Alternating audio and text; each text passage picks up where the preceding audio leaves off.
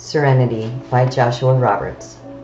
Sunrise and sunsets, how beautiful they are, like the rain in the air, that twinkling star. The mountains in back, rainbows in the sky. Look at all the beauty, just open your eyes. There's so many wonders we never really see, from the birds on the treetops to the little busy bees.